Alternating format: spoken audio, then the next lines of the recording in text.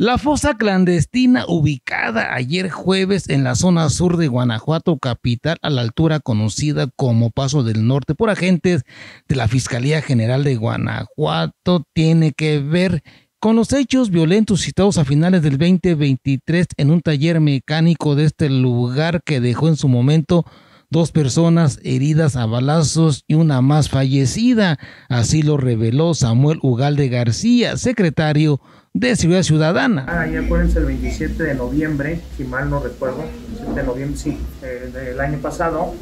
tuvimos un hecho ahí en un taller mecánico, lo que es Paso del Norte. Eh, de ese hecho, donde eh, ahí unas personas salieron mal, hubo dos personas lesionadas y ya posteriormente de ese, ese tipo de situaciones que sale una persona lesionada, nos sirvió las, los videos, las cámaras, nos sirvió y todo para asegurar dos armas en el lugar, detener a dos personas que salieron lesionados y estarlos custodiando, que después se los vincularon también al proceso. De ahí un tercero que salió corriendo y que posteriormente ya iba lesionado de arma de fuego y que fue localizado ya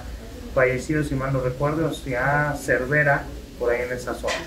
De todo esto se estuvo trabajando y se sigue trabajando ahí en coordinación con Fiscalía sí estamos notificados nosotros obviamente del municipio de todo lo que están llevando a cabo, los, cateos, lo que están llevando ahí. Se encontraron algunas prendas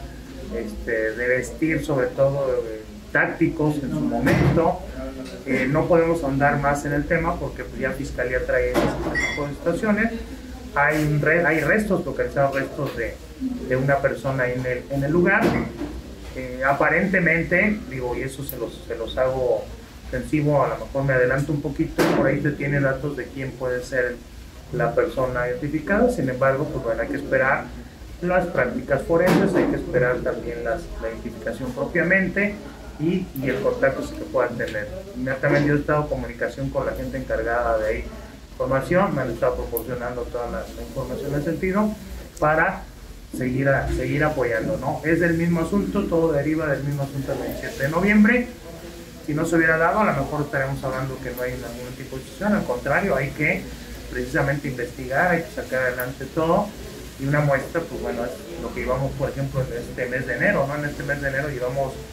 este, varias detenciones en cuestión también de comisos de droga, de dosis, llevamos detenciones en cuestión, ocho personas detenidas por robo, hablándolo del mercado, hablando también de esa de la zona, llevamos tres personas detenidas por esa situación que tenían orden de aprehensión por delitos de robo, de violencia familiar, llevamos cuatro o cinco vehículos recuperados en estos primeros, en estos primeros 15 días del mes de enero, es decir,